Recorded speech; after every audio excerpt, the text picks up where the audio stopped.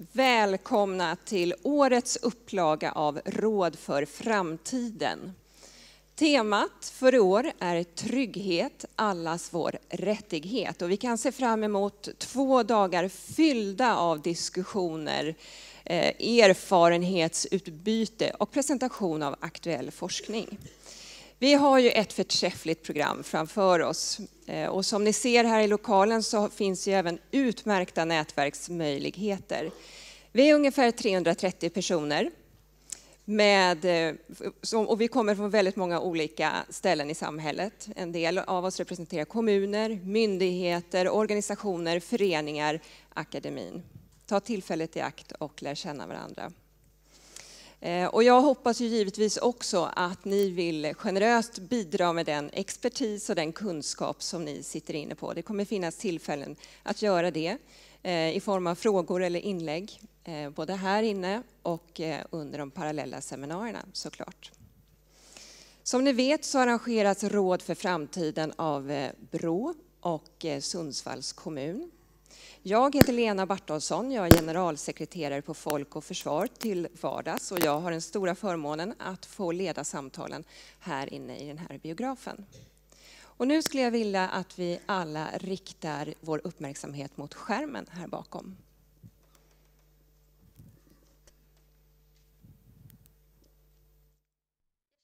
Jag känner att jag vill undvika ögonkontakt och vara i min egen bubbla.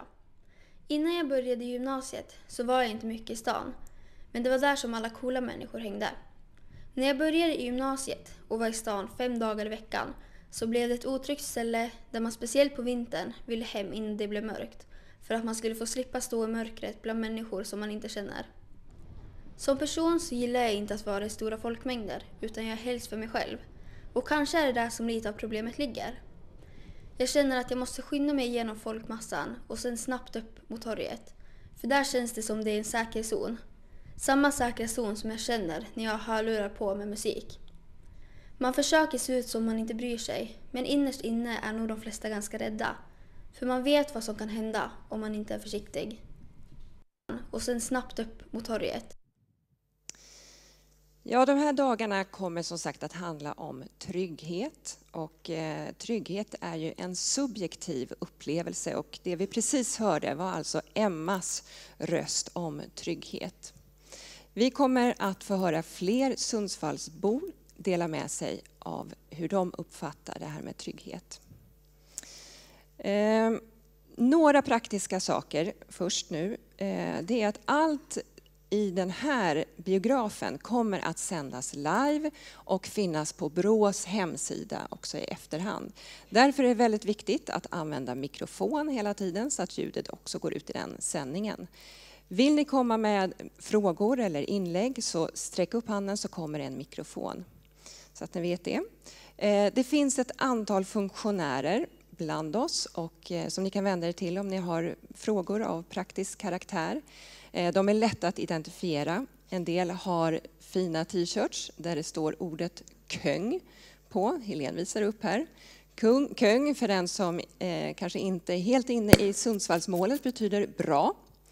Eh, det finns också ett antal personer som har den här knappen som det står Fråga mig. Och, eh, det förstår ni att det betyder att de kan man absolut fråga om allting. Eh, namnbrickor har vi ju själva allihopa och de är viktiga att ha på sig hela tiden, även under middagen ikväll. Så glöm inte att ha den på er. Eh, som sagt, vi har ett späckat program och eh, det innebär också att vi behöver vara väldigt noga med tiderna. Det är min helt eh, klara ambition och jag hoppas att ni alla vill hjälpa till i att hålla tiderna under kaffepauser och så vidare. Eh, nu har jag det stora nöjet då att få hälsa arrangörerna av Råd för framtiden välkomna upp på scen. Vi börjar med Brås generaldirektör Erik Wennerström. Välkommen.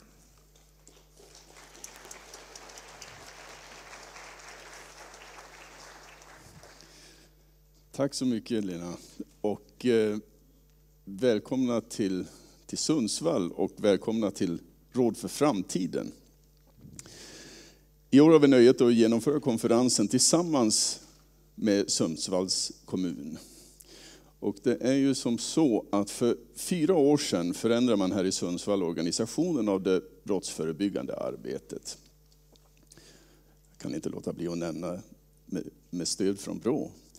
Eh, syftet var att skapa trygghet för alla i kommunen i dialog med medborgarna. Det här är ju en satsning som sammanfaller nu med den nya polismyndighetens ambitioner med det lokala brottsförebyggande arbetet. De nya ambitionerna för det lokala brottsförebyggande arbetet är en fortsättning på en längre historia som flera av er känner till. För 20 år sedan presenterade regeringen det nationella brottsförebyggande programmet Allas vårt ansvar. Då, liksom nu, stod man inför en omorganisation av polisen. Viljan med det brottsförebyggande arbetet var att det lokala samhället skulle involveras. Det skulle vara allas ansvar. Från och med i år har vi en ny polismyndighet med betoning på en. Eh, vi har också sedan i höstas en ny regering med en uttalad vilja att höja ambitionerna med det lokala brottsförebyggande arbetet. Eh, ambitionen Eh, kan beskrivas som en mer behovsanpassad eh, ett mer behovsanpassat lokalt brottsförebyggande arbete i dialog med medborgarna och insatser och åtgärder som skräddarsys efter lokala problembilder. Trygghet är allas rättighet och staten och kommunen har i uppdrag från medborgarna att säkerställa den. Och när jag säger det så vill jag understryka att det är en rättighet på riktigt. Eh, när Sverige skriver under Europakonventionen för mänskliga rättigheter och gör ett åtagande, så tar den svenska staten ett ansvar för att skydda dess medborgares liv, hälsa, säkerhet, integritet och trygghet. Brister det härvidlag så är det staten som ytterst får svara för det, till exempel inför domstolen i Strasbourg.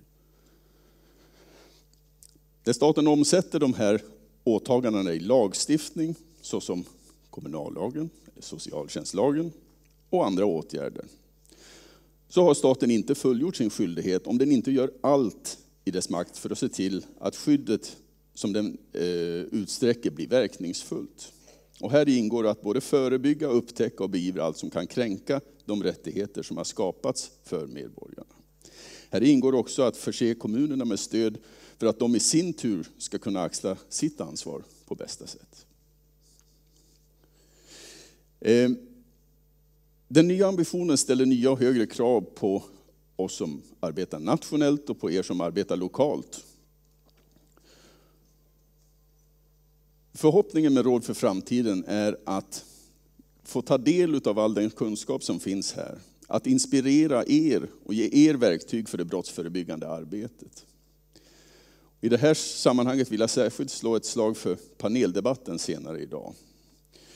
Ehm, under den kommer Anders Hall, Peter Lindström, Bodil Hansson och en representant för BRÅ att diskutera vem som är framtidens brottsförebyggare.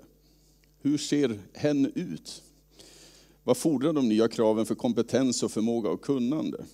Och hur ska vi från nationellt håll stödja det här? Vi lyssnar på våra målgrupper och vill gärna höra från er, till exempel i vårt Twitterflöde på hashtag råd för framtiden. Innan jag lämnar över till Bodil Hansson vill jag avsluta med att upprepa att trygghet är en rättighet. Det här är någonting som myndigheten BRÅ i sitt uppdrag värnar om. Jag hoppas att vi genom att samlas här kommer att inspirera och bli inspirerade av varandra och att det lokala brottsförebyggande och trygghetsskapande arbetet eh, därigenom kommer att kunna utvecklas och breddas. Återigen, varmt välkomna till Råd för framtiden. Tack.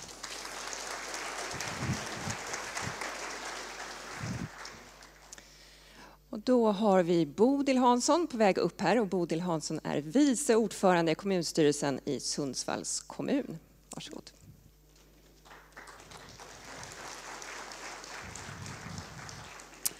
Tack och välkommen till Sundsvall. Vi är både glada och stolta över att få stå värd för den här konferensen. Och vår förhoppning är att ni ska få möjlighet att utbyta erfarenheter, bli berikade med nya idéer och inspirerande möten. Och framför allt att ni ska känna er riktigt peppade när ni kommer hem igen, att fortsätta det här viktiga arbetet som alla vi här inne brinner för. Det är en mänsklig rättighet att känna sig trygg, alldeles oavsett vem man är och var man är. Det var också en av grundtankarna när vi i Sundsvall för drygt fyra år sedan inledde vårt utvecklingsarbete av det vi har valt att kalla för Trygga Sundsvall. Vi har valt att fokusera på både den faktiska tryggheten men även på den upplevda tryggheten. Och när jag funderar över vad är det som får mig att känna mig trygg och vad är det som skapar en känsla av otrygghet så landar jag alltid i att jag är ganska mörkrädd. Jag drar mig för att vistas utomhus i mörka och ensliga miljöer. Och när jag frågar min kompis som har invandrarbakgrund vad är det som gör att hon ibland känner sig otrygg så är svaret rädslan för hatbrott och den ökade främlingsfientligheten i samhället. Känslan av trygghet är olika från individ till individ. Och det vi i Sundsvall vill uppnå är att skapa trygghet för alla åldersgrupper i alla kommunens bostadsområden. Vi kan aldrig någonsin acceptera att otryggheten blir ett hinder som begränsar oss människor. Vi har ett stort engagemang för trygghetsfrågorna i vår kommun. Vi har en mängd olika aktörer som är delaktiga i arbetet och det är en stor fördel för oss. Vi har ett strategiskt trygghetsråd och vi har 14 lokala trygghetsgrupper. Och en av våra främsta samarbetspartners är polisen. Polisen är delaktig och de är också aktiv i samtliga av de här grupperna.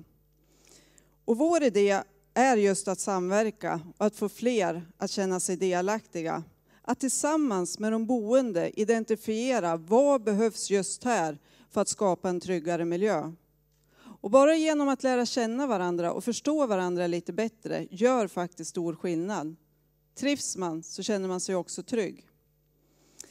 Och som en del i vårt arbete så har vi tillsammans med Brå prövat en form av medborgardialog med hjälp av digitalt berättande.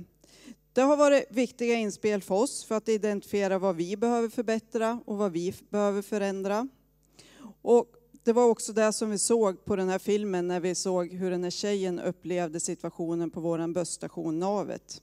Och ni kommer under konferensen få ta del av några av de här filmerna och vi hoppas att de filmerna ska inspirera er till nya tankar, precis som de har gjort för oss. Återigen, varmt välkommen till Sundsvall.